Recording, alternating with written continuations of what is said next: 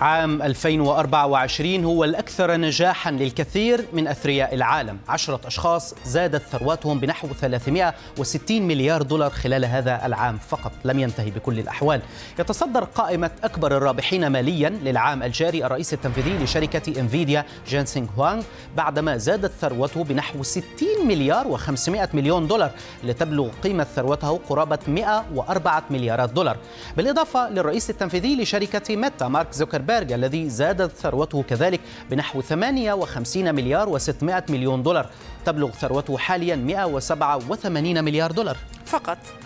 وأيضا مشاهدينا في المرتبة الثالثة جاء الرئيس التنفيذي لشركة أوراكل لاري أليسون والذي زاد ثروته بنسبة 50 مليار دولار لتبلغ ثروته الآن 173 ملياراً.